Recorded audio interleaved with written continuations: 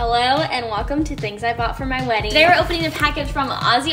I had all of my bridesmaids buy their bridesmaids dresses at Azazie. You can pick like a color and then everyone can order a different style of dress but the same color. As I was searching for their dresses, I saw some really cute accessories and things that I wanted for myself and to gift to my bridesmaids. So that's what today's episode is about. Let's get into it. I got some bridesmaids gifts.